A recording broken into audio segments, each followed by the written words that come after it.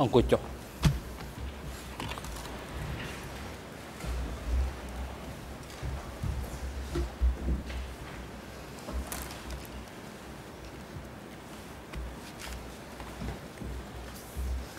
អង្គជំរះប្រកាសបន្តកិច្ចដំណើរការនីតិវិធីសមនការសមនការនៅរុស្ស៊ីនេះអង្គជំរះនឹងផ្ដើមធ្វើសមនការស្ដាប់លក្ខិកម្ម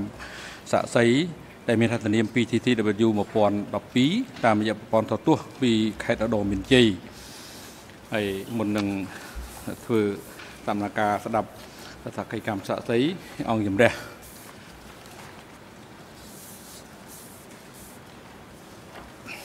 សូមជម្រាបជូនដំណឹងដល់ភាគីនៅក្នុងកិច្ចដំណើរការសកម្មភាពនៅថ្ងៃនេះថា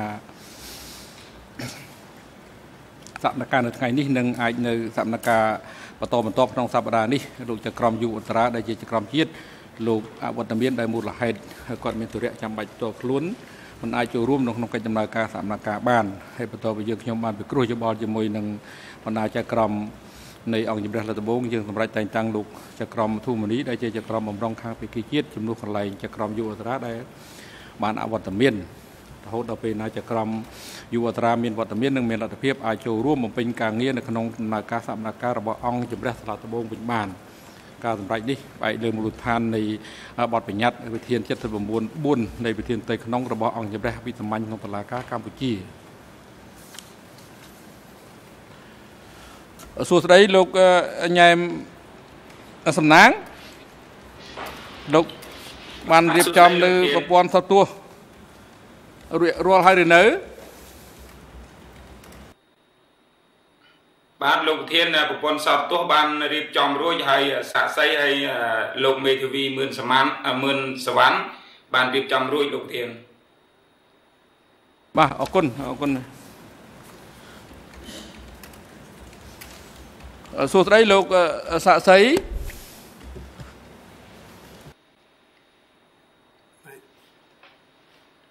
លោកបានត្រៀមខ្លួនរួចហើយឬនៅលោកសាស្ត្រីត្រៀមរួចហើយបាទអរគុណហើយជាដំបូងនេះយើងសូមសួរអំពីព័ត៌មានបញ្ជាក់អំពីអត្តសញ្ញាណរបស់លោកដោយសារសកម្មភាពលើកមុនហ្នឹងយូរហើយឥឡូវហ្នឹងសូមបញ្ជាក់ថាជាថ្មីតើលោកឈ្មោះអីលោកសាក់សីអឺលោកសៅសរុន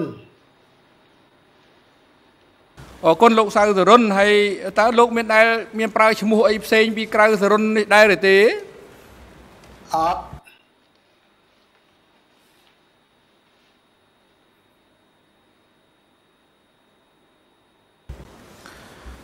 លោកកើតនៅថ្ងៃខែឆ្នាំណា លោកចាំដែរទេលោកសៅសរុនអត់ចាំទេលោក ឆ្នាំនេះលោកអាយុប៉ុន្មានហើយ ខ្ញុំប្រហែលប្រហែលទេថាកោបជាងកោបពីរ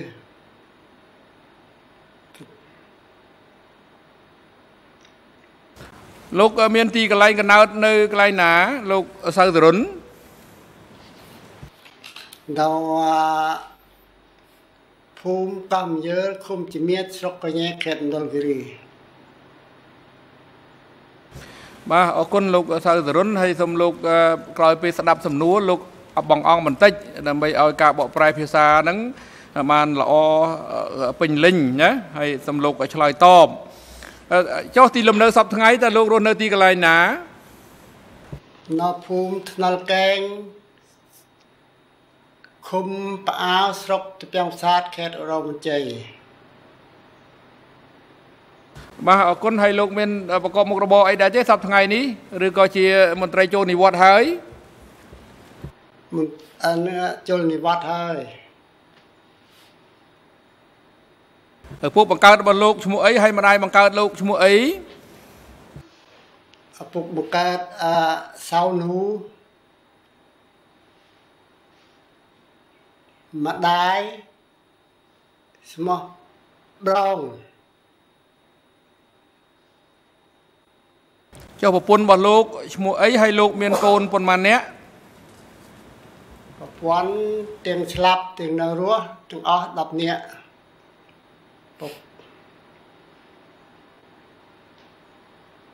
ចុះប្រពន្ធប្រពន្ធរបស់លោកឈ្មោះអីឈ្មោះយន្តផកយន្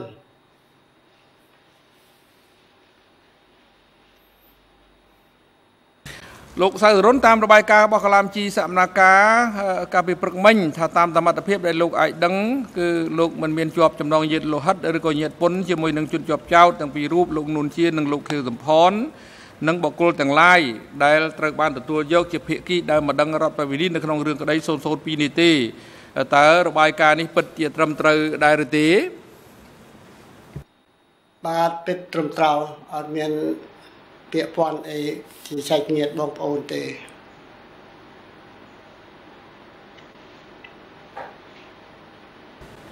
ហើយ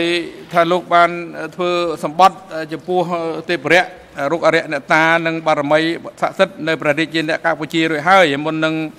មកអង្គុយកន្លែងផ្ដល់ខេកម្មតាមប្រព័ន្ធថតទស្សន៍នាពេលនេះតើត្រឹមត្រូវដែរឬទេត្រឹមត្រូវហើយ ជាបន្តទៅនេះយើងប្រាប់អំពីសិទ្ធិនិងកណិច្ចកិច្ចលោកក្នុងឋានៈជាលោកជាជាស័ក្តិសិទ្ធិនៅក្នុងកិច្ចដំណើរការសកម្មភាពដែលទៅផ្ដល់តក្កកម្មអំមកអង្គជំនុំជម្រះលោកសៅសរុន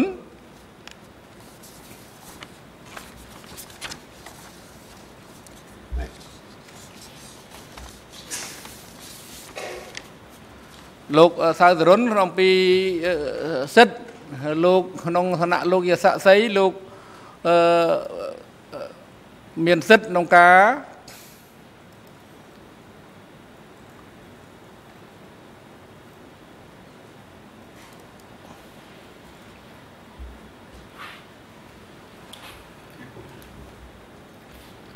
មិនឆ្លើយ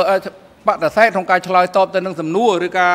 ធ្វើការអធិប្បាយដែលនាំឲ្យដាក់វិរុទ្ធភាពលើខ្លួនឯងសិទ្ធមិនធ្វើតក្កៃកម្មប្រឆាំងនឹងខ្លួនឯងហើយអំពីករណីយកិច្ច ក្នុងឋានៈលោកជាស័ក្តិសិទ្ធិនៅក្នុងកិច្ចដំណើរការចំពោះមុខអង្គជំរះលោកត្រូវតែឆ្លើយតបរាល់សំណួរទាំងឡាយដែលភាគីឬចក្រមនៃអង្គជំរះសួរចំពោះលោកលើកលែងតែសំណួរណាឬការអត្ថាធិប្បាយរៀបរាប់ណាដែលនាំឲ្យដាក់វិរុទ្ធភាពលើខ្លួនឯងដូចយើងប្រាប់រួចហើយបាញ់មិញនេះហើយក្នុងឋានៈលោកជាស័ក្តិសិទ្ធិត្រូវតែឆ្លើយតែការណាដែលពិត ដែលលោកបានដឹងបានឮបានឃើញបនចាបានចងចាំឬក៏មានបទពិសោធន៍ជួបប្រទះឬក៏បានធ្វើការសង្កេតដែលផ្ទាល់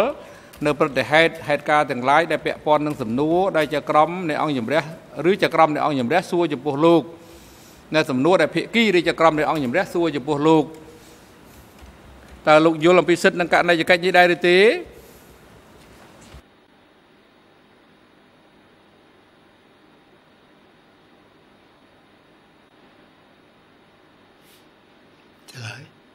បាទជិះឆ្លើយអត់ជិះឆ្លើយអត់ឆាយល់ខ្ញុំចាក់ខ្ញុំនោះមិនទំនួលទេយើងប្រាប់អំពីសិទ្ធណាលោកសៅសរុនលោកមានសិទ្ធក្នុងការមិនឆ្លើយតបនឹងសំណួរចំពោះសំណួរណាដែលសួរនាំឲ្យចម្លើយតបរបស់លោកដាក់វិរុទ្ធភាពលើខ្លួនឯងសិទ្ធមិនធ្វើសក្ខីកម្មប្រឆាំងនឹងខ្លួនឯងហើយចំណែកឯកណិយកិច្ចវិញគឺ ទី1គឺត្រូវតែឆ្លើយតបរាល់សំណួរដែលសួរទី2លើកលែងតែសំណួរណាដែលនាំឲ្យដាក់ដាក់វិរុទ្ធភាពលើខ្លួនឯងចម្លើយតបរបស់លោកដាក់វិរុទ្ធភាពលើខ្លួនឯងទើបលោកមិនបាច់ឆ្លើយតបទេហើយបញ្ហានេះដើម្បីច្បាស់លាស់អង្គជំរះតាមរយៈអង្គភាពគម្ពីស័ក្តិសិទ្ធិនិងអ្នកជំនាញបានចាត់តាំងមេធាវីប្រឹក្សាស័ក្តិសិទ្ធិដែលអង្គុយក្បែររស់ហើយដើម្បីពិគ្រោះពិភាក្សាគ្នាក្នុងករណីដែលមានសំណួរដាក់បន្ទុកលើលោក ឯកណីយកិច្ចគឺលោកត្រូវតែឆ្លើយតបនឹងសំណួរទាំងអស់ដែលសួរដោយភាគីរាជក្រមនៃអង្គជំរះហើយមួយទៀតហ្នឹងគឺកណីយកិច្ចគឺថាលោកត្រូវតែនិយាយតែការណាដែលពិតដែលលោកបានដឹងបានឮបានឃើញបានចងចាំឬក៏មានបទពិសោធន៍ជួបប្រទះឬក៏បានធ្វើការសង្កេតដោយផ្ទាល់នៅព្រឹត្តិហេតុនៅហេតុការណ៍ទាំងឡាយដែលពាក់ព័ន្ធនឹងសំណួរដែលភាគីឬចក្រមនៃអង្គជំរះសួរលោកតើលោកយល់ដែរទេ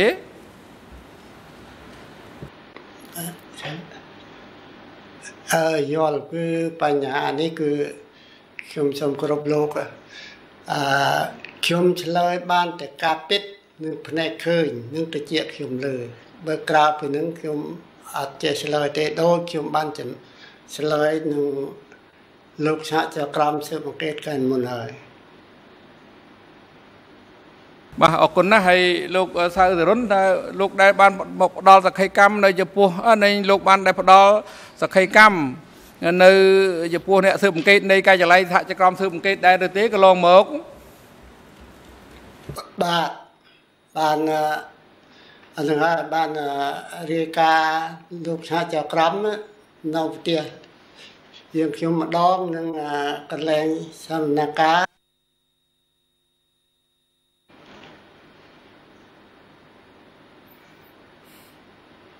ហើយមុនពេលមកកាន់នៅទីនេះតើលោកបានពិនិត្យឬក៏បានអាននៅកំណត់ហេតុដែលស្ដាប់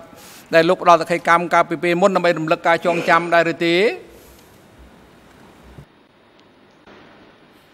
ឡូវនេះគឺមិនចឹងភ្លេចការចងចាំអើបើយកតាមនឹងចុះទៅតាមបាន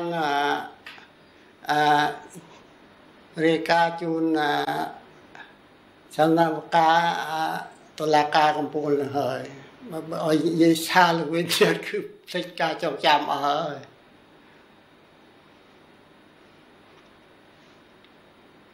បាទអរគុណហើយពេលនេះគឺលោកបានទទួលមេធាវីប្រឹក្សាស័ក្តិសិទ្ធិតាមរយៈអង្គភាពកងពារស័ក្តិសិទ្ធិនិងអ្នកជំនាញតាមដំណើររបស់លោកហើយគឺមេធាវីមឿនសុវណ្ណណាហើយក៏ សូមជម្រាបផងដែរលោកមេធាវីមឿនសុវណ្ណក្នុងករណីមានសំណួរដែលនាំឲ្យដាក់វិរុទ្ធភាពលើខ្លួនឯងឬលើខ្លួនស័ក្តិសិទ្ធិឬក៏មានការដែលស្នើសុំឲ្យលោកឲ្យសាក់សីធ្វើអត្ថាធិប្បាយដែលជាស្ដីអត្ថាធិប្បាយនោះអាចប្រមាលមើលថានឹងអាចដាក់បន្ទុកលើខ្លួនសាក់សីនោះគឺលោកអាចពិភាក្សាបានវិភាសាគ្នាដោយជាសម្ងាត់មិនមែនវិភាសាដាក់ក្បាលមីក្រូខ្សឹបដាក់ក្បាលមីក្រូទេ ហើយការឆ្លើយតបឬក៏មិនឆ្លើយតបជារឿងរបស់សាក់សីមិនមែនមេធាវីឆ្លើយតបចំនួនសាក់សីទេសូមរំលឹកបញ្ជាក់សារជាថ្មីម្ដងទៀតកែលោកផនច្រឡំក្នុងការបំពេញមុខងារបាទជាបន្តទៅនេះអង្គជំដោយអនុវត្តតាមបទបញ្ញត្តិនៃវិធាន91ស្ទួននៃវិធានតេក្នុងអង្គជំរះផ្ដល់វិធានការជូនទៅថាព្រះញ្ញាសួរដេញដោល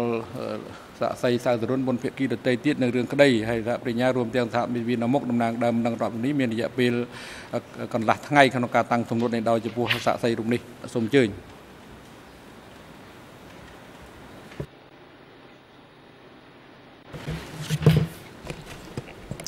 Good afternoon, Mr. Sao Sarun. ជំរាបសួរលោកសៅសរុន I would like to inform you ខ្ញុំសូម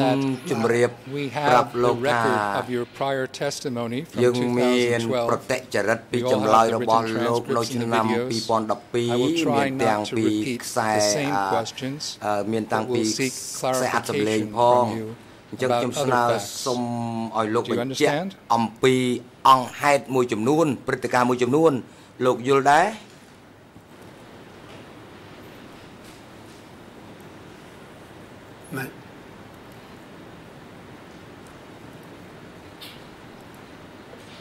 ឆ្លើយ បាទបាទលោកជិះឆ្លើយ អត់ជាយល់ខ្លឹមសារ Let me just, that was just an introduction. I'll go right into my អឺ questions. នេះគ្រាន់តែជា Sir, ការចាប់ផ្ដើមទេ you លោក told us that you were born ខ្ញុំសួរតែ in ម្ដង Mondulkiri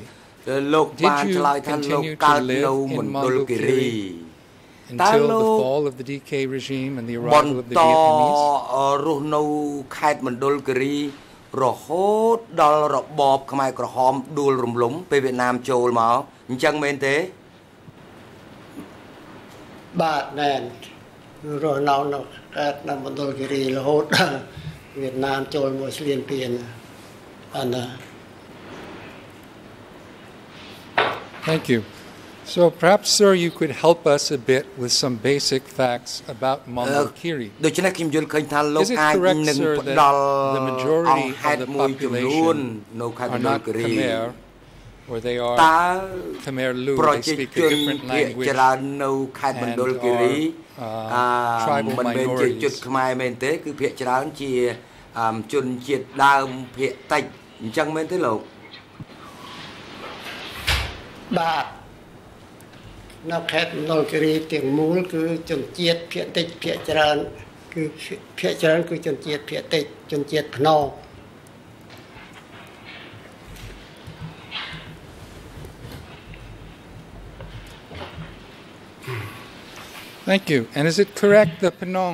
សូមអរគុណសូមអរគុណតើភ្នំ Cambodia Vietnam នៅ Laos Can you explain where the Penang live ក្នុងទឹកដី ខ្មែរផងនិងរស់នៅក្នុង ទឹកដីឡាវផងអញ្ចឹងមែនទេលោកបាទគឺខ្មែរអាទឹកអានឹងជនជាតិខ្នងនេះគឺនៅក្នុងខេត្តនលគិរីទាំងមូលហ្មង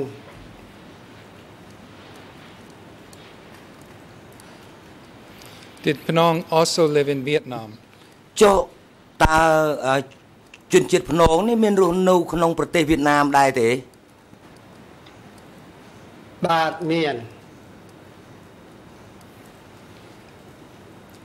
Uh, sir, uh, in 1968, did you go Lộc to Sở the Rấn. forest? តើ And លោក join មាន a បាន armed group? ចូលទៅក្នុងព្រៃដើម្បីចូលរួមតស៊ូប្រដាប់អាវុធដែរទេនៅនៅឆ្នាំ1963អឺ68បាទឆ្នាំ1968តើលោកមានបានចូលតស៊ូប្រដាប់អាវុធក្នុងព្រៃដែរទេ បាទបានចូលរួមបាត់អឺក្នុងព្រៃតស៊ូវាយចក្រពត្តិអាមេរិក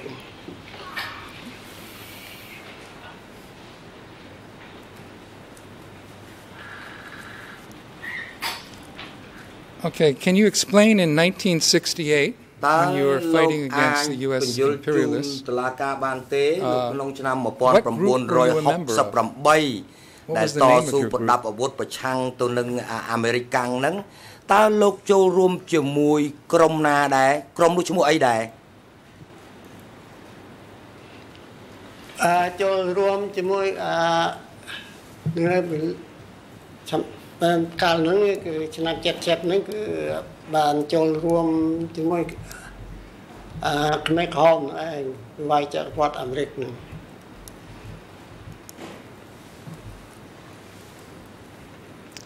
Okay, thank you. But uh, is it uh, សូមអរ correct គុណ that you joined តើត្រឹមត្រូវ in ដែរទេ 1968? ថា Khmer Rouge. លោកបានចូលរួមចលនាខ្មែរក្រហមនោះគឺនៅក្នុងឆ្នាំ1968ត្រឹមត្រូវដែរឬអត់ទេតាមត្រូវ And who were you fighting against in 1968? ចុះ Did នៅក្នុង your opponents ឆ្នាំ include the Sihanouk government of 68 Cambodia? ហ្នឹង អឺតើលោកវាយប្រយុទ្ធជាមួយខាងណាឬក៏ថាលោកក៏វាយប្រយុទ្ធអឹមជាមួយនឹងសិរបបសីហនុដែរបាទគឺអឺបាទទទួលអឺសេចក្តីអំពាវនាវរបស់សម្ដេចឪជាអនុនឹងហើយបានថាវាយចក្រពត្តិអាមេរិកគឺគឺថាសូមអញ្ជើញបងប្អូនទូគ្រប់ជនជាតិនៅខាង នលគិរីនេះគឺឲ្យក្រកឡើងវាយចក្រពត្តិអាមេរិកវាឆ្លៀនពៀនទឹកដីយើងនឹងបានចូលរួម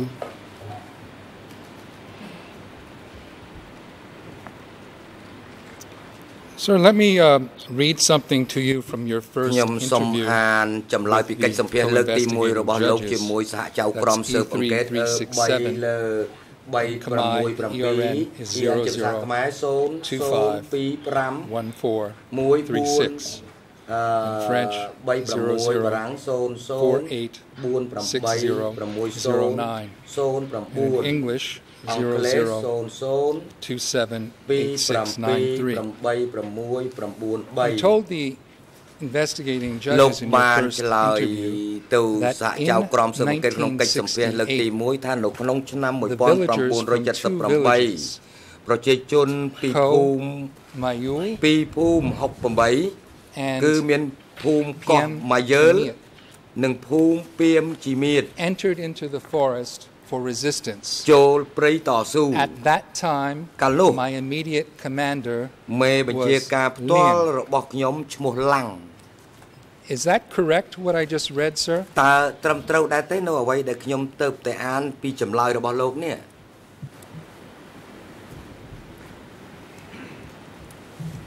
បាទគឺអឺអឺនឹងហើយ So in 19 ឡើងហើយគឺអ្ នកលោកអានឹងនៅវាយចក្រពត្តិអាមេរិកនឹងចូលព្រៃហ្នឹង 1968, Well, sir, in 1968, this was លោកសរិន before the Lon នៅ Nol ក្នុង coup, two ឆ្ years នាម before, correct? 1968គឺជាពេលវេលាមួយមុនរដ្ឋប្រហារអឺលន់ណុល អឺមុនរដ្ឋប្រហារឆ្នាំ1970គិតទៅវា2ឆ្នាំមុនរដ្ឋប្រហារត្រឹមត្រូវដែរទេលោក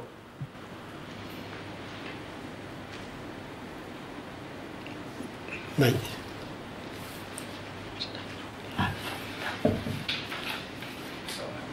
សុំម្ដងទៀតស្ដាប់អត់បានអឺស្រាប់មិនបានសូមអឺលើកជំនួសម្ដងទៀត Yes, I will. And Your Honor, could I request that the Um, um, លោកប្រធា video ន link show the witness after I ask my Uh, question so we see some- what's going onអ while it's ឺ being translated? អឺសូមសូមបង្ហាញអឺវីដេអូអឺអឺរូបខ្ញុំអផងអ่ะពេលពេលខ្ញុំសួរទៅសូមអឺឲ្យបង្ហាញរូបសាក Sir, សីមកចង់ដឹងថាតើ uh, យ this ល់ is គ្នា my យ៉ាងណា question. លោកប្រធាន Uh, actually, I'm going to ask you លោ another ក question. សាកសី Lang, ខ្ញុំសួរសំណួរតាមវា Liang. ផ្សេងលោក was he, did he become a member Lang. of the Central Committee តើ of the ឡើង Communist Party of អ Cambodia? ឺបានคล้ายជាសមាជិកមជ្ឈិម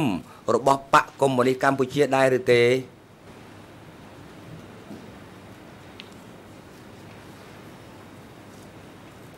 ចា ឆ្លើយ ហើយ ឆ្លើយទៅ អឺតាមដឹកហ្នឹងគឺគាត់ជាសមាជិករបស់មជ្ឈិមមែន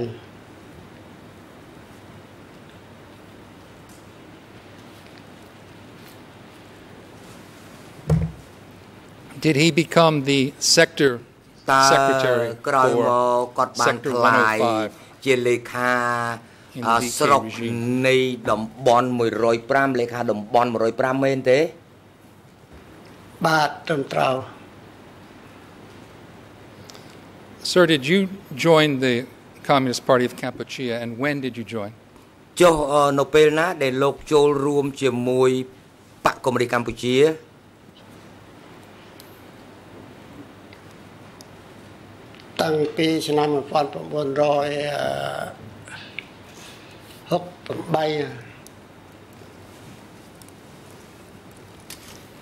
Okay, thank លោកលោកលោកថាប្រញ្ញាអន្តរជាតិមានឃើញរូបអឺសាក់សីហើយនៅ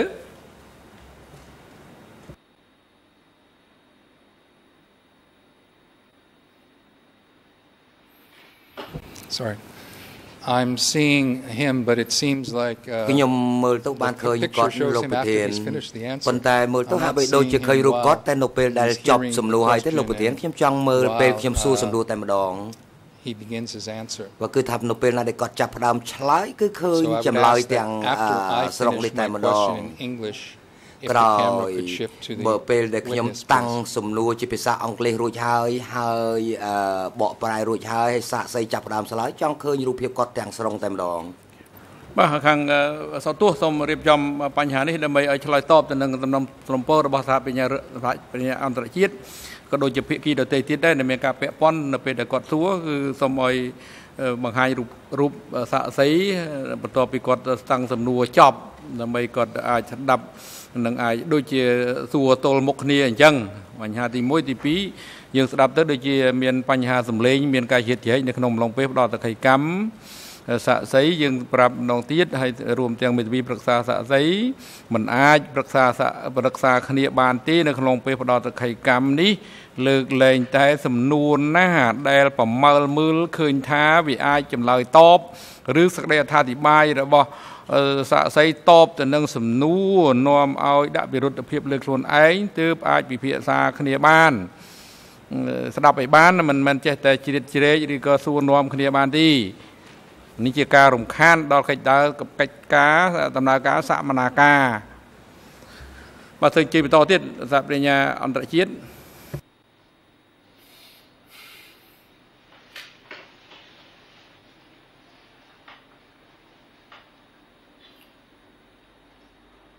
Sir, when did you first meet Pol Pot? លោកសាក់សីតើលោកជួបប៉ុលពតលើកដំបូងនៅពេលណា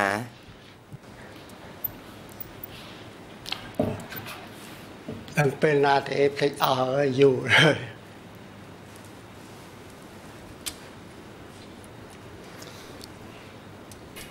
Uh, Um, do you recall where it was that you met him? ចុះលោក នៅនឹកឃើញទេថាលោកជួបប៉ុលពតនៅកន្លែងណា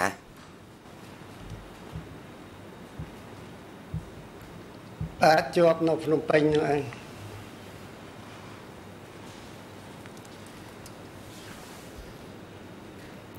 Did either Pol Pot or Nun Chia or Q Sampan Pol ever Pot visit Mondulkiri? អឺឬនួនជា When you were in Mondulkiri. ឬខៀវសំផនធ្លាប់ដែលបានទៅ ធ្វើទស្សនកិច្ចនៅខេត្តមណ្ឌលគិរីដែរទេ នៅពេលដែលលោកនៅឯខេត្តមណ្ឌលគិរីបាទអត់ទេមិនដែលឃើញគាត់តទេ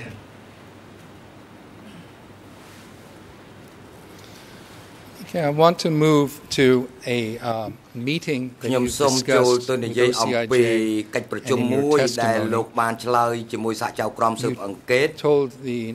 លោក investigators បា and ន testified that in ជម្រាបទៅសហចៅក្រមស៊ើប1972អង្កេតថានៅឆ្នាំ you attended a meeting in Kampong Tom 72លោកបានចូលរួមនៅក្នុង and អង្គប្រជុំមួយនៅ Nun ខេត្ត Chia កំ was a ពង់ធំ presenter. Do you recall ហើយ what ក្នុង Nun អង្គ Chia ប្រ spoke ជុំ about? នេះគឺនួនជាជាអ្នកឡើងធ្វើសេចក្តីថ្លែង លោកនៅចាំទេថាពេលហ្នឹងនួនជានួនជាក៏ថ្លែងអំពីអ្វីបាទគឺគាត់ថ្លែងមានតែបញ្ហាថាប្រមូលកម្លាំងគ្រប់គ្រងកម្លាំងដើម្បីវាយអាមេរិកទៅប៉ុណ្ណឹងនឹងកសាងសេដ្ឋកិច្ច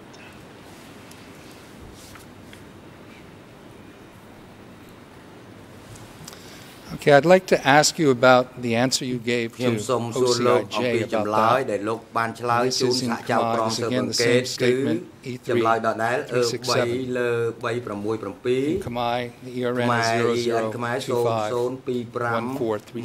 0025 In French, បារាំង 0048 0048 10. 10 And in English, អង់គ្លេស 00 00 27 27 You said that at that meeting លោកបាន where ឆ្លើយថានៅក្នុង Pol អង្គប្រ Pot ជុំ and Q Samphan ដែល were also ប៉ុល present. ពតនិងគីវសុផ you ន said, ក៏មាន quote, ក៏មាន Nun វត្តមានដែរ Chia was the presenter នួន for ជាគឺ political ជាអ្នក session ធ្វើបទបង្ហាញ on fighting ក្នុង against វគ្គ the រៀនសូត្រ American នយោបាយក្នុងការពេលព្រឹ national កចក្រពត្តិ liberation អាមេរិក and the eradication Uh, r ំដោះ of ជាតិ oppressive classes. ហើយនឹងការបង្ក្រាប The នៅ question I វណ្ណៈ have, please, ជិះ sir, ជាន់ is to explain the word you ដូច្នេះ used ខ្ញុំសូមឲ្យលោក You បញ្ said យល់ Nun Chia ពាក្យ talked ដែលលោក about the ប្រើ eradication ណា of គឺថា oppressive classes. នួនជា Who were the oppressive និយា classes? យអំពីវណ្ណៈជិះជាន់អឺតើវណ្ណៈជិះជាន់ហ្នឹងគឺជាវណ្ណៈយ៉ាងដូចម្ដេចទៅចាអត់ទាំងដែរ អត់យល់តែវណ្ណៈជាចន់ហ្នឹងគេសំដៅលើសម្ដេចនេះអ្នកជាចន់គេដឹងគេសំដៅលើអីខ្ញុំមិនចូលយល់ដែរ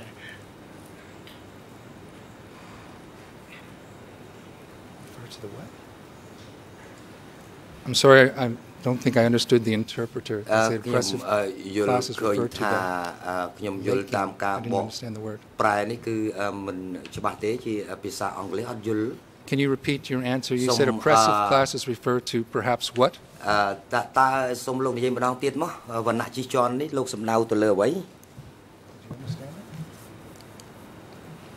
សំដៅលើគេថាអ្នកជិះជាន់សង្កត់សង្កិនប្រជាពលរដ្ឋហ្នឹង អាហ្នឹងគេសំដៅថាអ្នកអ្នកហ្នឹងឯងវណ្ណៈជិះជាន់អ្នកគ្រប់គ្រង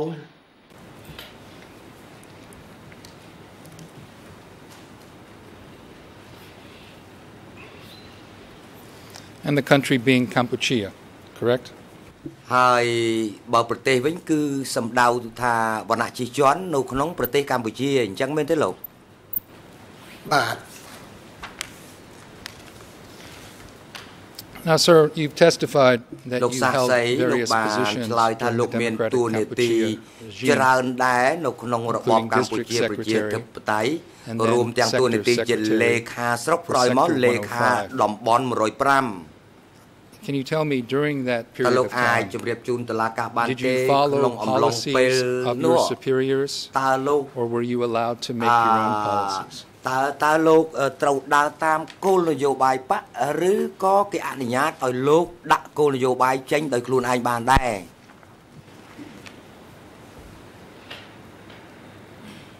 អបាទគឺកាលមកនឹងគឺខ្ញុំជាអានឹងប្រប្រធានស្រុកពេជ្រចិន្តាតាំងពីឆ្នាំ1971គឺចាត់តាំងខ្ញុំធ្វើជាប្រធានស្រុកពេជ្រចិន្តាបាទ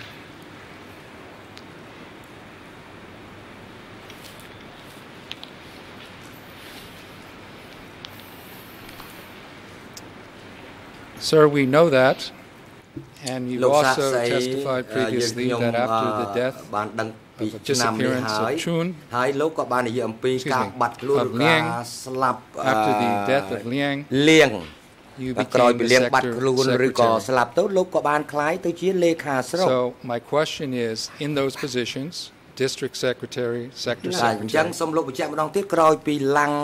you make up policies or were you required to follow the, party's policies, policies from the center? គេតម្រូវឲ្យលោកដើរតាមគោលនយោបាយដាក់ចេញដោយមជ្ឈិមបកឬក៏គេឲ្យលោក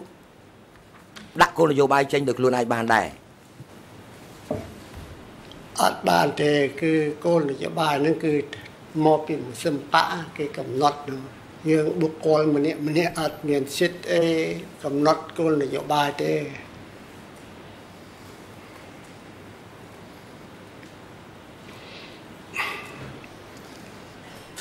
Let me just ask you, during those times, those years, was it possible for តើ you to នៅ object ក្ to នង a policy? ពេល to នោះ say- tell the center you don't think this is លោក right, you អាច don't want ប ដិសេធ different មិន policy ធ្វើ should exist? តាមគោលនយោបាយបកបានទេបើសិនណាជាអឺវាមានគោលនយោបាយផ្សេងផ្សេងឲ្យលោកយល់ថាអាចបដិសេធនោះតើលោកគេលោកលោកហ៊ានអាចបដិសេធបានទេបើគោលនយោបាយនោះវាមិនល្អអូយសូមឆ្លើយគឺពេលហ្នឹងល្អមិនល្អក៏ទៅចិត្តតែស្ដាប់គេហើយយើងពេញចិត្តមិនពេញចិត្តក៏មិនហ៊ានទេ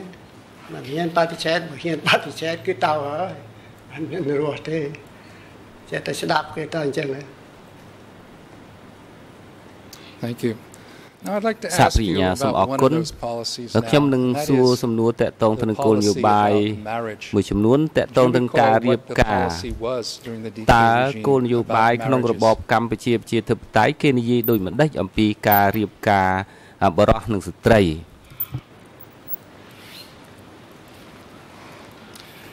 អញ្ចឹងគឺដឹងគោលនយោបាយយ៉ាងម៉េចទេ គេពេលហ្នឹងឃើញតែថាចេះតែអបរៀបតែម្ដងមួយគូពីរគូអីទៅអញ្ចឹងគេថាវាจะរៀបតាមសម័យទេអាសម័យកុម្មុយនីសហ្នឹងតែរៀបអញ្ចឹងយើងរៀបតាមសង្គមចាស់ហ្នឹងក៏វាលំបាកគេថា Okay, perhaps it សាកប្រាជ្ញា perhaps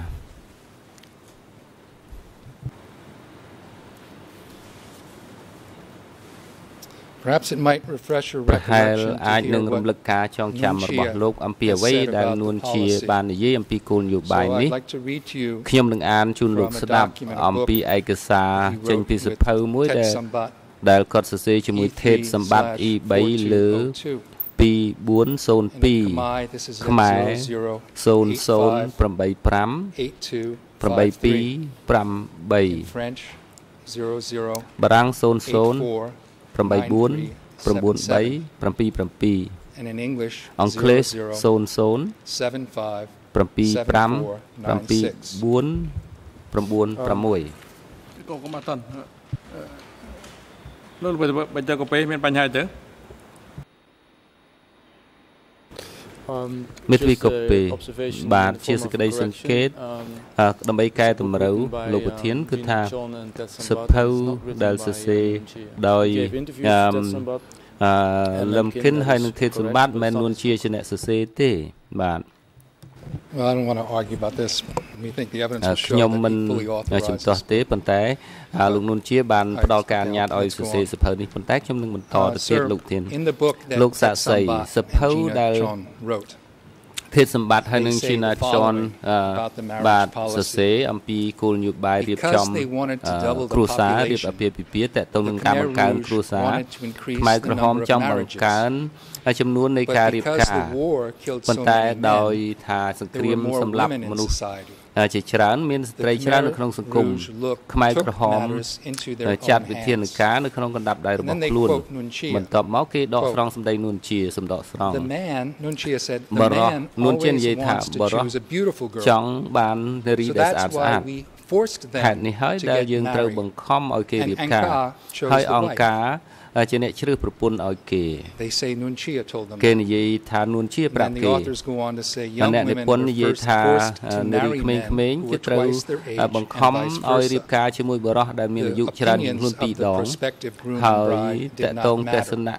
អឺ Marriage កូនកកំឡោះនិងកូនកំមុំ became គេមិន policy អឺ and an តម្រូវឲ្យ institution that អឺ served យល់ព្រម the គ្នាទេ revolutionary cause. គឺថាធ្វើយ៉ាងណាគេត្រូវឲ្យតែ Sir, in your បំពេញគោលបំណង experience, is របស់ this a បកកុម្មុយនីស correct, របស់បដិវ A ត្តតែប៉ុណ្ណោះ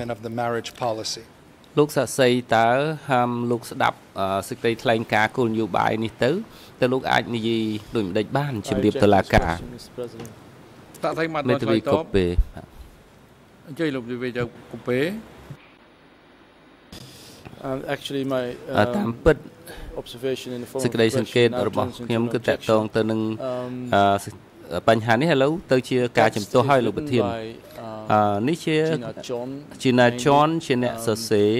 That's Ah, not in ជា the ពិសេស interviews, គឺ but ថា she នេះ was the one who was អឺ compiling, uh, អឺ certain គាត់ texts ជាអ្នក together, អឺរៀប heavily ចំអ relying ត្ថបទ on, uh, secondary អឺ sources. បញ្ចូលគ្នាហើយគាត់ផ្អែកលើប្រភព I know អឺ exactly ខុស where ៗគ្នា it comes from. ខ្ញុំ Uh, I also ដឹង know ថា it's out of អត្ថបទ context, នោះ but ចេញ it មកពី doesn't ណា matter. ហើយ Uh, អឺ however, ខ្លឹមសារនោះវា presenting this ខុស whole ប្រធានប excerpt ទ as something ខុសបរិបទ reflecting, ប៉ុន្តែគឺថា uh, ការយោងបែបនេះ policy គឺ that ថា is, uh, អឹម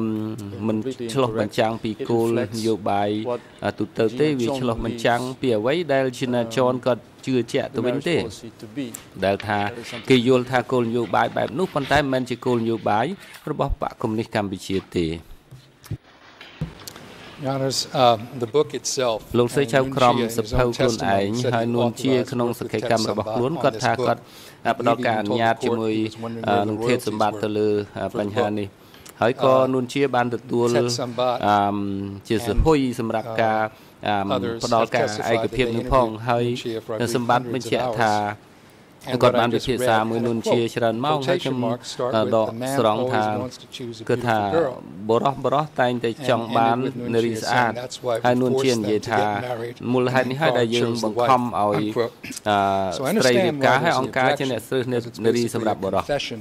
បាទ to a នេះហើយ forced ជា marriage policy. អាការ But this is in សារ fact ភាព a ចំពោះ secondary គោលនយោបាយ source បង្ខំ direct ឲ្យរៀប interview អាពាហ៍ with ពិពាហ៍បាទនេះហើយជាបទសម្ភាសន៍ដែលគេយោងគឺជាបទសម្ភាសន៍របស់អឺនួនជា That is really in- that is មេ really ធាវីកូ incorrect. ពេនេះគឺមិន Uh, ត្រឹម he- ត្រូវ that- ទេ that book came out in លោកប្រ 2000, ធានគឺថាស10ភៅនេះចេញ I believe, ពីក្នុងឆ្នាំ I'm quoting it by heart now. He was 2010 already ហើយ detained for three ខ្ញុំ years. អាច He never ចាំស្ទើរ authorized តែ the ផ្ទាល់ final មាត់ហើយគឺ version. ថា And, អឺ uh, គាត់ if មិន he ដែល would ផ្ដល់ have ការ been អនុ able ញ្ញាត to ឲ្យមាន show អត្ថបទ even, បែបនេះចុះ uh, បោះពុំសភៅទេដែល authorized សាស្ត្រាចារ្យលើកឡើងថា files អានួនជាអនុញ្ញាត clearly not his quotes. ឲ្យបោះពុំ And I បែបនេះ know គឺ for a មិន fact ត្រូវ that ទេ this quote is completely out of context. បាទគឺថាការដកស្រង់នេះគឺថាខុសបរិបទទាំងស្រុង I don't know if counsel was there to say that. សា but, បញ្ញា uh, ខ្ញុំ this is what's ជឿ written ជាក់ in ថា the មេ book. ធាវីអាចបញ្ The ជាក់អញ្ចឹង defense បាន has ប៉ុន្ relied តែ on this book. They អឺ asked សភៅ for the បាន book សរ to សេរ be បែប admitted. នេះហើយ They, អឺ uh, អ្នកនិ we've ពន្ធក៏ asked ក for ត់ត្រា Ted បែប Sambat នេះ to ហើយខ្ញុំ testify. អានទៅតាម I think the defense ខ្លឹម has សារ also. So អឺ I ស think ភៅ it's នោះហើយបើ absolutely មេ as ធាវី fair ការ as ពារ any ជំ quote the ទាស់ defense or មិន any យល់ស្រប party គឺថា is put to a អឺ witness. យើង This is a quote អឺ from ត្រូវតែ Nuncia បញ្ជាក់ by ជាមួយ his សាក់ authorized សី biographer. អឺឲ្យគាត់បញ្ជាក់ថាតើគាត់យល់ដូចម្ដេចចំពោះមតិដែលគេដកស្រង់ពីមតិ បទសម្ភាសន៍នួនជាត្រង់ចំណុចនេះ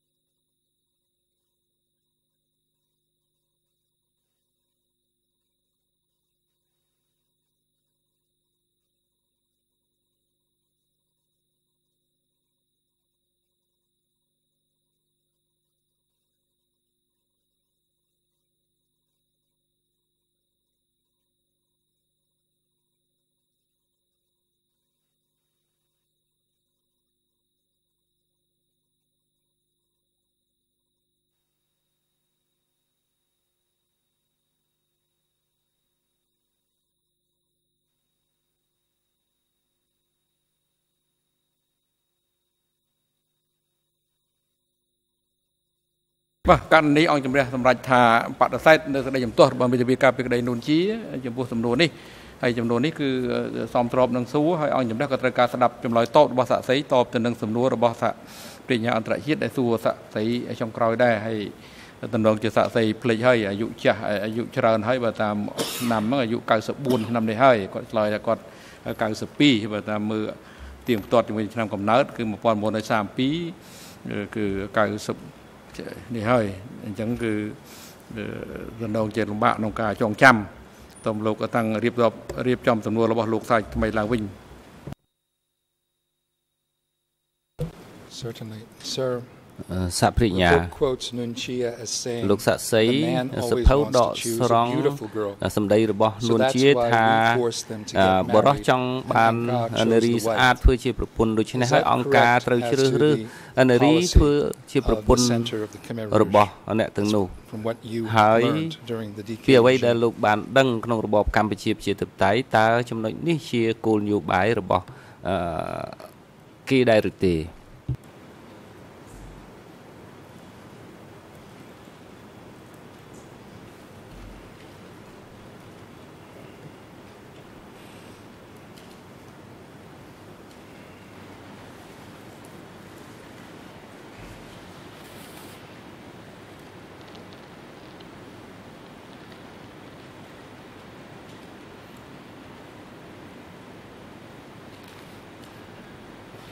So we're waiting for your បាទ answer. យើងរងចាំ I'll repeat ចម្លើយ the ពីលោក question លោកសា one ក់ more សី time. ខ្ញុំនឹងសួរលោកម្ដងទៀត Question was សំណួរខ្ញុំសួរ when ថា Nunchia said this នៅពេល is it cor- នួន was it ជា correct? និយាយ He បែបនេះ said ត្រឹមត្រូវ about ដែរ the ឬទេ marriage policy quote អឺជាគោលនយោបាយ The man គឺ always wants to បរោះ choose a ចង់ beautiful បាន girl.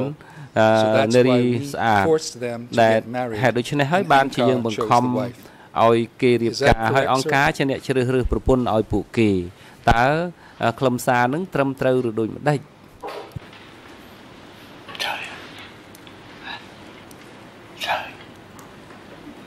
trời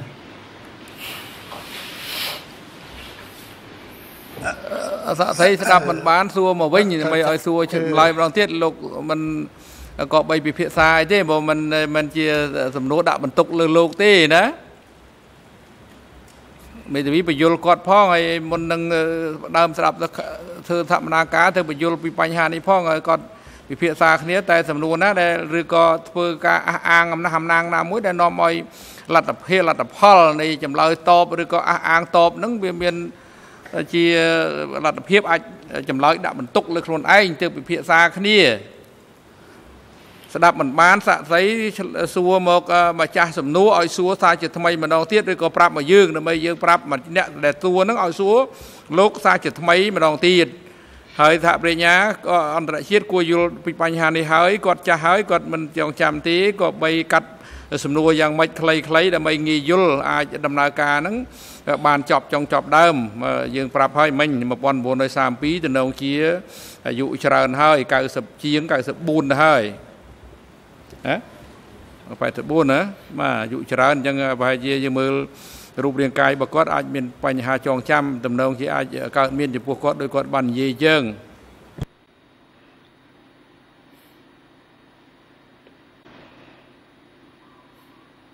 សាំងសម្រួលរបស់លោកសាច់ជាថ្មីចុះម្ដងទៀតស្ដាប់តំណងសាក់សីស្ដាប់មិនបានទេព្រោះ Sir, I read you a quote from Nunchia លោកសាក់សីខ្ញុំអានសេចក្តីដកស្រង់ពីនួនជានិយាយថាអង្គការ men to get married បង្ខំ and choose the ឲ្យ wife. Is that បរោះ correct? រៀបការ Is that ហើយ what អង្គការជាអ្នកជ្រើសរើសប្រពន្ធឲ្យពួកគេតើនេះជាគោលនយោបាយបែបនេះមែនឬទេអានឹងខ្ញុំ សូមបាទសូមឆ្លើយសូមអត់ឆៅយល់ដែរឃើញតែគេថារៀប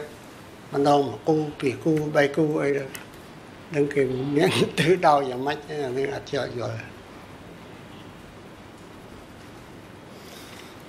Did you were you informed សំ that ណួរ study តើលោក sessions ទទួលព័ត៌ or មានដែរ written ទេគឺថាវគ្គ documents សិក្សាឬក៏ឯកសារ ឬក៏ក្នុងកិច្ចប្រជុំនានាដែលថាអង្គការចង់បង្កើនចំនួនប្រជាជនដែរឬទេបាទអានឹងលឺទៅយើងបង្កើនឲ្យចំណើនប្រជាជនហ្នឹងឲ្យវាកាន់តែ And what- ច្រើនឡើងពីព្រោះយើងតែយើងវាប្រជាជនតិចធ្វើយ៉ាងម៉េចទៅរៀបចំគូស្រករឲ្យយុទ្ធជនយុទ្ធនារីឲ្យបានត្រឹមត្រូវអានឹងលឺអានឹង Okay, I'm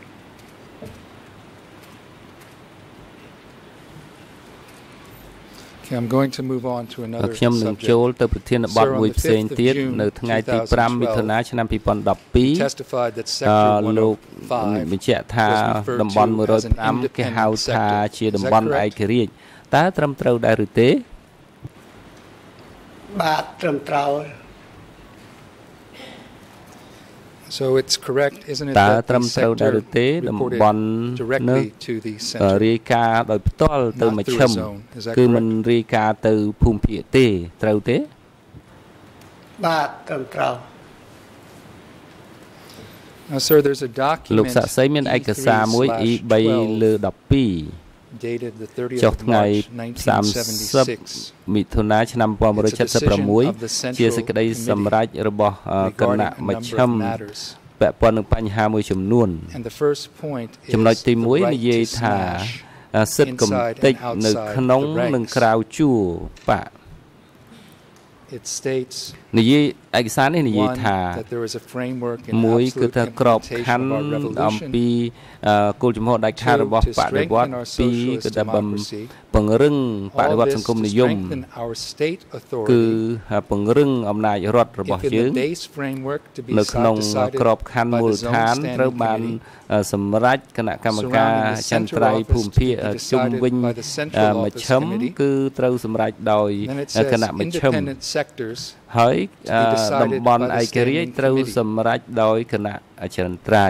so let me summarize it a little ហើយ bit ខ្ញុំ make it a bit សង្ខេប simpler បន្ so តិច decision ដើម្បីឲ្យងាយស្រួល of សេច the ក្តី Central សម្រេច Committee របស់ of គណៈ 30th of March អឺមជ្ឈិមបកនៅថ្ងៃ1976ទី30មីនា It says ឆ្នាំ regarding the right to 1976គឺនិយាយអំពីសិទ្ធិនៃការ inside កំ and ទេច outside the នៅ ranks ក្នុងហើយនិងនៅក្រៅជួរបក that this would be for independent អ sectors ឺនេះខ្ញុំនិយាយអំពី decided by the តំ standing បន់ committee អឺ ឯ Is ក that រាជ្យគឺត្រូវ correct? សម្រេចដោយគណៈអចិន្ត្រៃយ៍ Based តើ upon ត្រឹម what ត្រូវ you ដែរ learned as ទេ a district and sector អំពីអ្វី secretary ដែលលោកធ្លាប់ that ធ្វើជា regarding លេខា matters ស្រុកនិង of លេខាតំបន់ smashing inside or ពាក់ព័ន្ធ outside the ទៅនឹង ranks ការកំទេចមនុស្សនៅក្នុង The ហើយនិងក្រៅជួរបក sectors នោះ sector គឺ105 as an តំបន់ independent sector 105ជាតំបន់ឯ had ករាជ្យ to go ត្រូវតែ abide by the អ decision ឺ of គោ the រព standing តាម committee សេចក្តីសម្រេចរបស់គណៈអចិន្ is ត្រៃយ៍ that what happened តើការពិតវាកើតឡើងចឹងអឺដែរឬទេ បាទគឺបញ្ញាហ្នឹងគឺតំបន់105ហ្នឹងកាលមុនហ្នឹងខ្ញុំអត់ឆៅយល់ដែរពីប្រុសខ្ញុំខាងងារនៅស្រុកហ្នឹងគេសម្រាប់យ៉ាងម៉េចយ៉ាងម៉េចទៅខាងគណៈមជ្ឈិមគឺខ្ញុំអត់ឆៅយល់ដែរ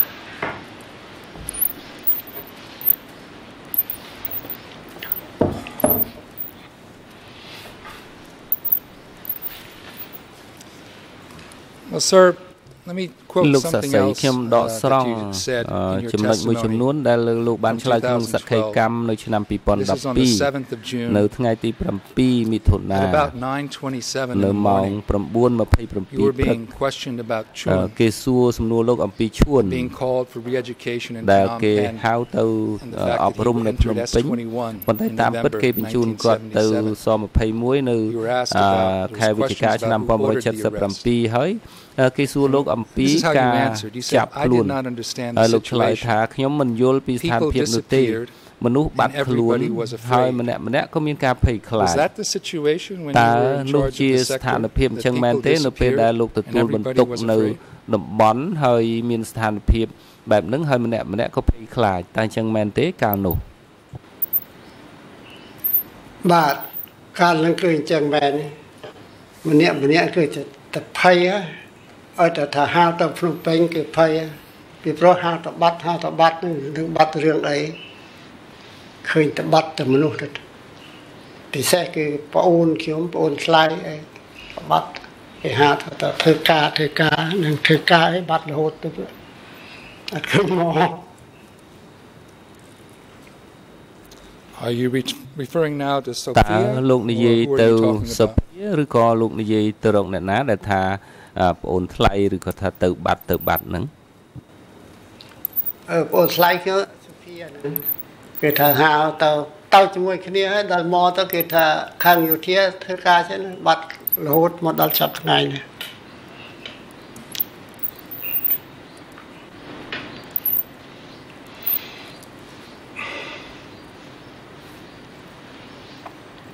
Well, Just so I'm clear who you're ដ talking ដើម្បីឲ្យ about, what ខ្ញុំ is the name of អឺ your ច្បាស់ younger ថា brother? តើ អឺប្អូនថ្លៃប្រុសរបស់លោកនឹងឈ្មោះអ្វីបាទឈូភីហ្នឹង And sir, you also talked អឺ in លោក your សាក់សី testimony លោកនិយាយនៅ the ក្នុង 6th ស of ក្ខី June at កម្មនៅថ្ងៃទី6មិ1433ថុ about នា the disappearance of អឺនៅ Mala. ម៉ោង You 12 also talked about អឺ the disappearance of អឺ Chun. 33នៅពេលដែលនិយាយពីការបាត់ខ្លួនរបស់ម៉ាឡា Do និយាយ you ពី know ឈួន who ហ្នឹង ordered these តើ disappearances? អ្នកណាជាអ្នក Who ordered បញ្ these ជា people to ឲ្យ be មាន sent away? អឺការបញ្ជូនអ្នកទាំងអស់នោះទៅ ហើយក៏ក្រោយមកបាត់ខ្លួននឹងក្រោមបញ្ជារបស់អ្នកណា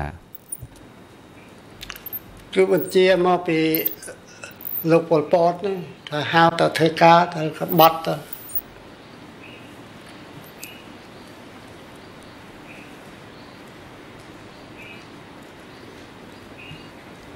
Now, did the ឥ um, ឡូវនេះ orders come តើ by បញ្ជា telephone call, បញ្ជូន by មក a ការ messenger, ហៅទូ or រ by ស័ព្ទឬក៏ telegram? ដោយនារសារ Can ឬ you ដោយ explain how the សារទូរលេខ orders that called សូមលោក people ព to ន្យល់ study តុលាការថាតើ were delivered? បញ្ជាថាឲ្យបញ្ជូនមនុស្សទៅអឺរៀនសូត្រហ្នឹងគេបញ្ជូនបញ្ជាមកដូចដូចម្ដេចតាមរបៀបណាច្រើនតែគេបញ្ជាមកតាមទូរលេខអត់មាន ថាហៅទៅរៀនឈ្មោះនេះឈ្មោះនេះគេចុចឈ្មោះមកពីភ្នំពេញហ្មងហៅទៅរៀនទៅបើយើងមិនទៅក៏គេគេទៅហៅទៅរៀនទៅរៀនទៅ Sir, បា you ត់មិនឃើញមក previously you អឺ previously ពីដើម testified លោកបាន that ផ្ដល់ស Nunchia តិ sent កម្មថា telegrams នួន calling ជា people to បញ្ជូន study. Is that អឺ correct? ទូរស័ព្ទហើយហៅកម្មាភិបាល ទៅចូលរួមវគ្គសិក្សាតើអញ្ចឹងត្រឹមត្រូវដែរឬទេបាទត្រឹមត្រូវ Now, those people that ឥឡូវ Nunchia មនុស្សទាំងអ called ស់ to នោះដែល study, នួន did ជា some of បាន them ហៅទៅ disappear? ឲ្យរៀនសូត្រនោះតើមានអ្នកណាបាត់ខ្លួនមានអ្នកណានៅសល់ដែរឬទេបាត់ខ្លួនតែអូនថ្លៃខ្ញុំទេការប៉ុណ្្នឹងដល់សល់ទាំងអស់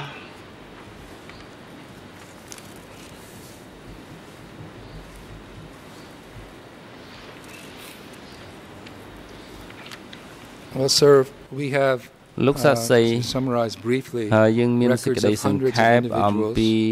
អម from Sector 105កំណត់ហេតុរបស់សាក់សី appearing in 100 S21. អឺអ្នកនោះ You know គឺថាដែល how they were brought អឺ to គេ S21, បញ្ជូន ordered them taken ទៅ there. ស21ហ្នឹងគឺមកពីតំបន់របស់លោកនោះ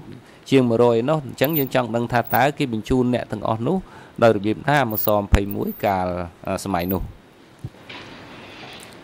ខ្ញុំអត់យល់ដែរតើតឡាំងនឹងគេជូនរបៀបណារបៀបណាខ្ញុំនៅឯស្រុកពីចិន្តាគេអត់យល់ទេនឹងគេជូនរបៀបណាទេ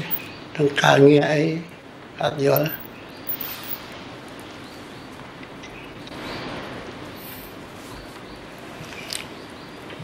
Well, let's um, clarify ស one ភិ thing ញ្ញា very ខ្ញុំចង់ quickly. You អឺបំភ្លឺ testified បញ្ហាមួយ previously ពីកដើម that លោកបានធ្វើសកម្មកម្មថា after Niang បន្ទាប់ death, ពី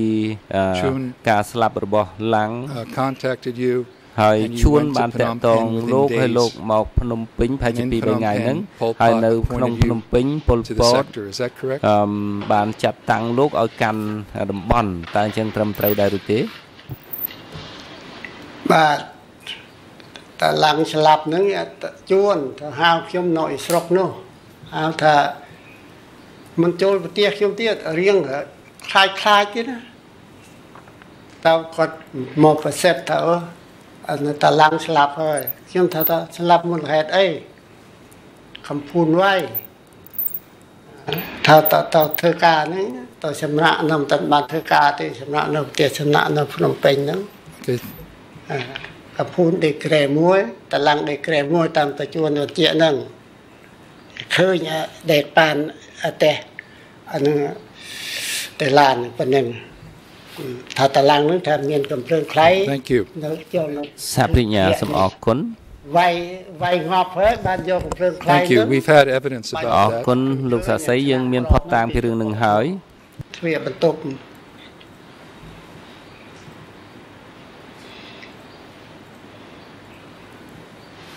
Thank you. You explained that អរគុណលោកបានពន្យល់4ឆ្នាំមកហើយគឺពីឆ្នាំ2010 2ហើយយើងមិនទៅលម្អិតពីបញ្ហានឹងទៀតទេប៉ុន្តែខ្ញុំចង់បញ្ជាក់ចំណុចច្បាស់មួយពីលោកគឺជួនដែលមកភ្នំពេញជាមួយលោកហើយជួននឹងគឺបានទៅស21នៅខែវិច្ឆិកាឆ្នាំ1977ហើយនៅចុងឆ្នាំ1977ហ្នឹង ប៉ុលពត Liam. បាន correct? ចាត់តាំងលោកទៅធ្វើជាគណៈតំបន់105តើអញ្ចឹងត្រឹមត្រូវឬទេបាទត្រឹមត្រូវពេលតាឡើងស្លាប់ហ្នឹងគាត់ចិត្តពលពតចិត្តតាំងហ្នឹងខ្ញុំអត់ទទួលទេដល់តែមានឆន្ទិបាតឆ្នាំ1973នោះបានគេតែងតាំងជាបោះជាមតិជាមតិហ្នឹងឯភាកច្រើនទេបោះ ជាមតិហ្នឹងយកខ្ញុំធ្វើជា Okay, ប្រ we'll ធាន come- ប្រកែកគេអត់បានក៏ធ្វើទៅបាន2ខែ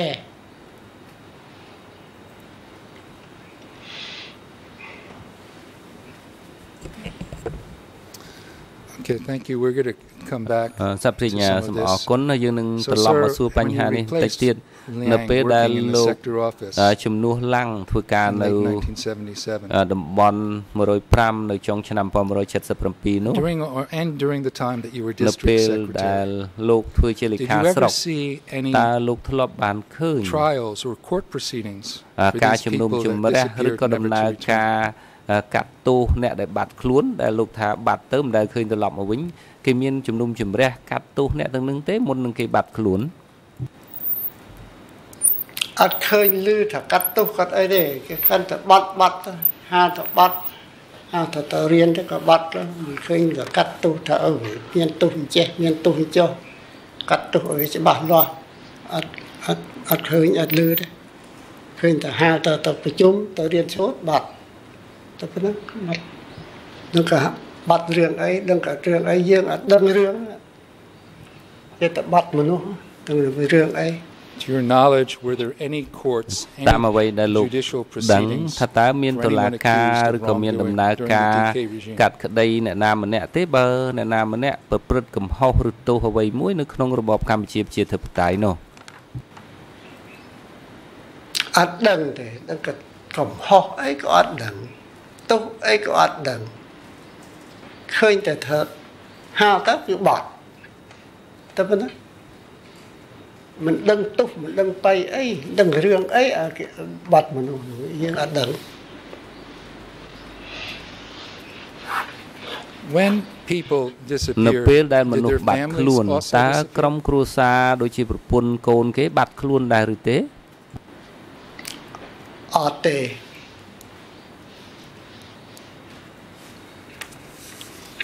Mr. Witness, uh, let me លោក read សា to ក់សី you ខ្ញុំ from អានជូនលោកស្ដាប់ a statement ចម្លើយមួយ of the son. របស់ of Liam កូនប្រុសរបស់លោក Kampan ឡាំងកំផាន This is E E357. 3លើ In 57 English អង់គ្លេស is 0029 00 29 05. 05 Well, let me let me summarize it this way. But This Kim was read to you Sung during Thai your Thai testimony Kiki, by ah, Moon Chia's counsel គឺមេធាវីនួនជា At បានអានឲ្យលោកស្ដាប់នៅម៉ោង14:35 14 on the last day of your 45 testimony, the នៅ 12th. ថ្ងៃអឺចុងក្រោយនៃអឺសវនកម្មស្ដាប់ And he សកម្មកម្ម read to you របស់លោក from ពី this មុន document ហើយគាត់ E357 ឯកសារ E3 លើ57នេះឯង Liang's ដែល son កូន said ប្រុសរបស់ during the ឡាំង Tao និយាយ era, ថាទោះ the arrests of the អំ whole ឡុងពេល families were made. អឺតា But I សរុន don't know កា where ន those families were អំ taken to be ដំ killed. អំណាចគឺថា ប្រជាជន And sir, បាត់ខ្លួន frankly, we've had other ទាំងគ្រួសារ witnesses that have testified ហើយមិនដឹងថា here បាត់ខ្លួនទៅទីណាទេ that ហើយ talk about, អាអ្នកដែល including មកធ្វើ this សក្ខី morning កម្មហ្នឹង and គឺថា yesterday, ហើយពេលព្រឹក talk នេះ about ហើយនឹងម្សិល wives មិញ and children being គេនិ arrested. យាយអំពីអឺប្រពន្ធនិង Were កូនកូន wives រ and របស់ children arrested? អឺបរោះក៏ត្រូវបានគេចាប់ខ្លួនដែរបើសិនជាគេចាប់ប្តីហើយហ្នឹងអញ្ចឹងក៏ខ្ញុំសួរលោកថាតើអឺ បើប្តី I បាត់ object ខ្លួន to this, ប្រពន្ធ um, selective កូន use របស់ of គេដូចបន្តិច evidence, uh, Mr. មេធាវីក President. ពេខ្ញុំជំទាស់នឹងសំណួរ Uh, បែបនេះ Dava was arrested, but his wife ហើយ wasn't arrested. អឺគឺអឺមានការចាប់ខ្លួនបាត់ខ្លួនដូចជាអឺកម្មាភិបាលមួយចំនួនប្រពន្ធរបស់គេមិនត្រូវបាន contend that it had អឺ something to ចាប់ do ខ្លួនទេ with, ដូចជា uh, ករណី role តាវ៉ាល់ដូចជាករណី of the wife, ប្រយុទ្ធអីជាដើមនោះ uh, uh, as a cadre ហើ itself. យ uh, អឺ why កាល was ណា he និយាយ arrested ថា simply because they កម្មា were ភិ white. បាល So there's other អឺ evidence to suggest បាត់ the ខ្លួនឬ opposite. មាននរណាបាត់ខ្លួននោះគឺអឺការ Should ដែល have រិ been ញ្ញា clear លើ of បែបនេះ talking គឺ about ផ្ទុយ the evidence ទៅវិញ about ទេ Sector 105. សហប្រញ្ញាខ្ញុំនិយាយអំពីតំបន់ sir, the 105ដែល evidence សា we ក់សី have on រូបនេះ that អាចនឹងបញ្ជាក់បានយើងមាន is ផុស that តាង wives នៅក្នុង were ចំណុចនេះ arrested. ហើយខ្ញុំសួរគាត់ថាតើប្រពន្ធ Children របស់ were គេបាន arrested. ត្រូវបានចាប់ខ្លួនហើយកូនរបស់គេត្រូវបានចាប់ខ្លួន Chamtui, ដែរឬ for ទេ example, បាទជាទីហោ Net Savat ចាំ testified both ទូ of ហើយ them ណេតសវត្ត that there were children បាន arrested along ធ្វើ with សកម្ម them. កម្មថាអឺកូននិងប្រពន្ធត្រូវបានចាប់ខ្លួន Isn't ក្រោយ that ពីគេ correct ចាប់ប្តី that children តើ were ត្រឹមត្រូវដែរ arrested ឬទេថាកូ when ន a កូន cadre was arrested? ត្រូវបានចាប់ខ្លួននៅពេលដែលគេចាប់ខ្លួនកម្មាភិបាលណាមួយនោះសូមលោកសាក់សីឆ្លើយ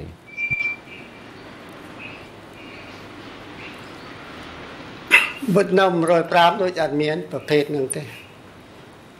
ថាចាប់ប្តីហើយយកប្រព័ន្ធតទៀតអត់មានទេតាមខ្ញុំឃើញណាតាំងពីសម័យតឡាំងនៅធ្វើជាប្រធានតំបន់នេះដូចអត់ឃើញធ្វើអញ្ចឹងមិនមែនខ្ញុំនិយាយអញ្ចឹងកាន់ដៃកាន់ជើងអីអត់ទេពីព្រោះវាអត់ឃើញភ្នែកវាអត់ឃើញតិចយើងអត់លឺមិនឃើញថាចាប់ទាំងគ្រួទាំងគ្រួទៅអត់ឃើញខេតគេផ្សេងផ្សេងខ្ញុំអត់ដឹងទេនិយាយតែខេតមណ្ឌលគិរី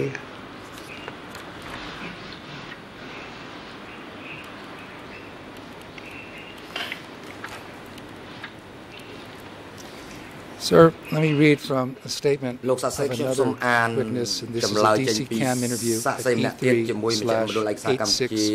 អឺ E3/8651. 3លើ In English, it's 6 01156504. បាទគឺឯកសារ ខ្មែរ 8651ខ្មែរ 000 000 42269. 269 Before I read that, let me just ask you, មុន sir, when is the នឹងខ្ញុំ last អាន time ចំណុច you នេះ returned to Mandalkiri? តើលោកបានត្រឡប់ Place where you ទៅ grew ម up. ណ្ឌលគិរីវិញជាចុងក្រោយនោះនៅពេលណា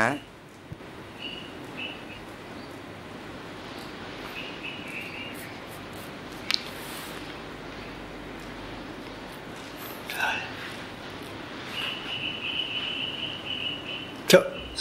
អានម្ដងទៀតណា When was the last time you went to តើ Mandalkiri? លោកទៅមណ្ឌលគិរីវិញនោះជាចុងក្រោយនៅពេលណា ទៅទៅរួចធ្វើការតែមួយថ្ងៃពីរនេះក៏មកមណ្ឌលគិរីវិញ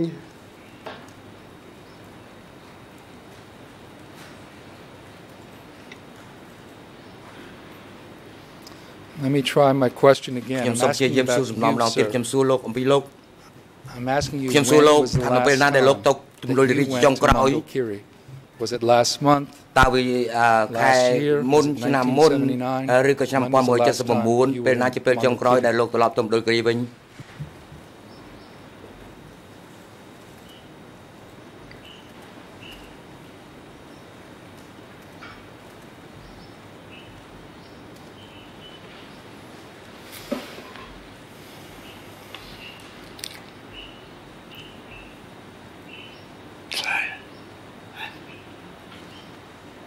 លោកសៅតរុននៅសំណួរសួរចេះថាតាំងពីលោកចាក់ចេញពីអឺមណ្ឌលគិរីមកហ្នឹងរហូតដល់សប្តាហ៍ថ្ងៃនេះតើពេលណាដែលចុងក្រោយបំផុតដែលលោកបានទៅមណ្ឌលគិរីអឺនោះតើលោកដែលទៅមណ្ឌលគិរីទេចុងក្រោយប្រហែលឆ្នាំថ្មីថ្មីនេះឬក៏ពេលចុងក្រោយលោកចាំទេថាទៅពេលណាអូដល់មកទឹកដីថៃហើយហ្នឹងហ៎ទៅមណ្ឌលគិរីទៅ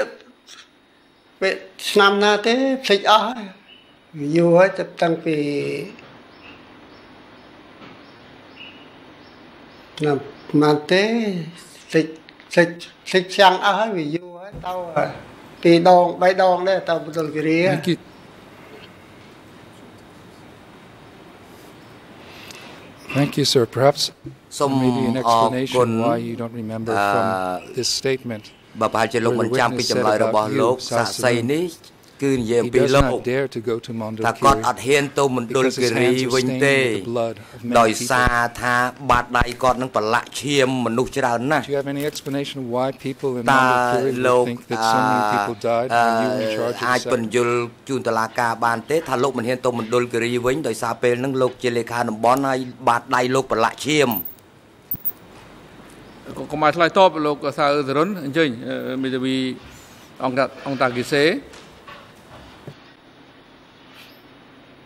Oui, je voudrais simplement avoir euh, បាទលោក la ប្រធាន référence ខ្ញុំ de- ចង់បាន du- ឯកសារយោ au ង procureur éventuellement នៅសំណួរ que l'on មាញ់មិញ puisse, នេះ euh, គាត់ donner le យក nom ព័ត៌ de មាន la ហ្នឹងមក personne ពី qui ណា cela ដើម្បីឲ្យយើង euh, ដឹង au ផង témoin. ថាតើអ្នកដែលនិយាយហ្នឹង Peut-être គាត់ que ça ឈ្មោះអី permettrait ដែល de និយាយ réagir អឺ plus សម្ដី complètement.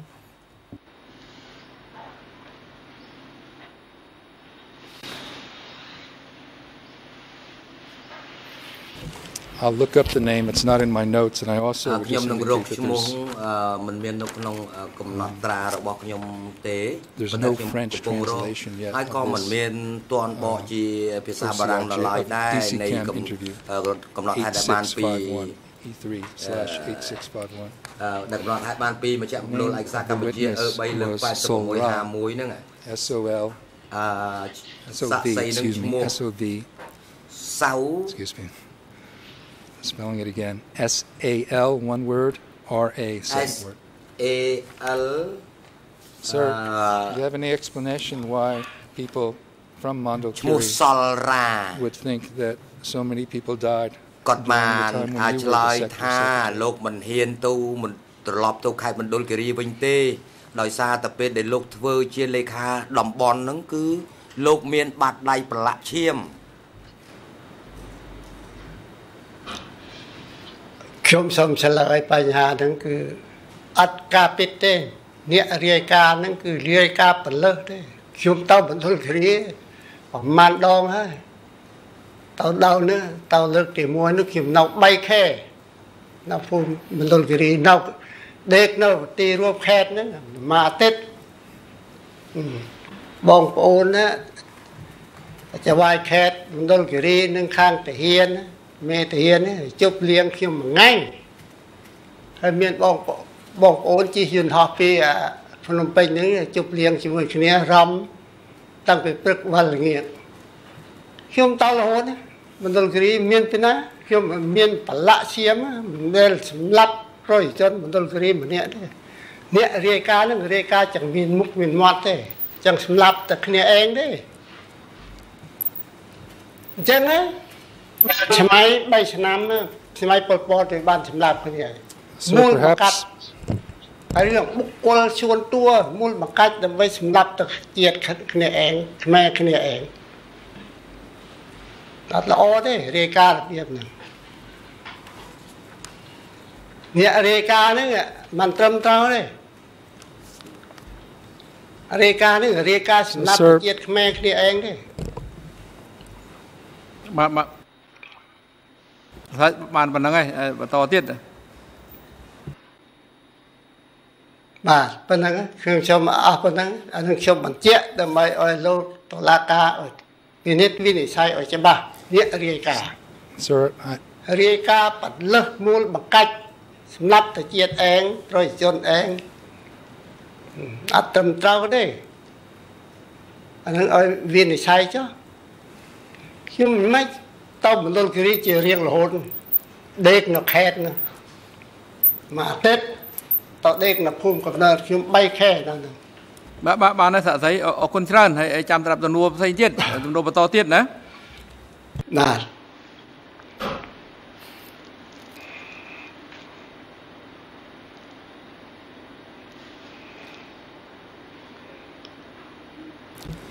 sir, I'm happy that your memory has been លោក refreshed អឺ so សាក់សី quickly. ខ្ញុំសប្បាយ Let me ណាស់ ask you ដែល then លោក about មាន your ការចង answer. ចាំ You ភ្លាម said ភ្លាម they មកបាញ់ wanted មិញ to kill នេះ their own people. អឺ Who was it that wanted to លោ kill កថា their own people? អឺគេរាយការណ៍នឹងរាយការណ៍ចង់សម្លាប់តែប្រជាជនឯងតើប្រជាជនឯងហ្នឹងជាអ្នកណាហើយអឺអ្នករាយការណ៍ហ្នឹងចង់សម្លាប់ប្រជាជនឯងលោកចង់មានន័យថាម៉េច ខ្ញុំថាចឹងនិយាយចេះ អាអ្នកររឿងហ្នឹងណាចឹងចំណាប់តែជាតិឯងប្រជាជនឯងណាចឹងមានមុខមានមាត់មានបុណ្យមានស័ក្តិណាវាអត់រាយការណ៍ចឹងវាអត់ចំហេតុចំផលបើដូចខ្ញុំថាគេវារាយការណ៍ថាខ្ញុំមិនហ៊ានទៅមណ្ឌលគិរីខ្ញុំប្រឡាក់សៀមខ្ញុំមិនដែលសំណប់ប្រជាជននេះមករូបផងខ្ញុំទៅដេកនៅមណ្ឌលគិរីនៅភូមិនៅខ្ញុំ3ខែដេកនៅទីរួមខេត្តហ្នឹងមួយអាទិត្យ នៅនឹងមានពីណាប្រឆាំងខ្ញុំមានពីណាស្អប់ខ្ញុំនៅស្រុកអូរ៉ាងនោះខ្ញុំទៅគឺគេពេលការកូនចៅខ្ញុំទៅចូលរួមការជាមួយគេដល់ខ្ញុំទៅវិញទៅគេក៏លើកផ្លូវដំប្រៃគេអើផ្លូវគេកាប់ដល់កបីលើកផ្លូវ Sir, I'd like to សាច់ ask កបី you ហ្នឹង about ដាក់ម្លាតខ្ញុំមកមកផ្លូវទៀតអឺ ផឹកដល់ពីម៉ោង5រហូតដល់ម៉ោង9